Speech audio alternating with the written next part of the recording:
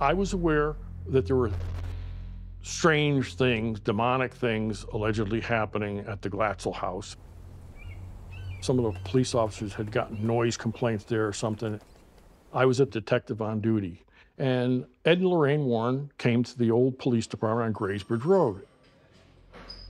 Ed Warren introduced himself as a demonologist, and Lorraine Warren introduced herself as a psychic. Lorraine was upset. She went on to tell me that during one of the actual exorcisms, Arne Cheyenne Johnson challenged the devil to leave David Glatzel and take him on. Lorraine was very upset about that. She says he should not have done that. You cannot do that. He does not know what he's up against. And she said, I see serious injury or a death with a knife. She wanted to put us on notice that a crime could occur. That she actually, I want to make it clear, she said, I see this happening as a psychic. She was matter of fact. She didn't look bizarre. She didn't act bizarre.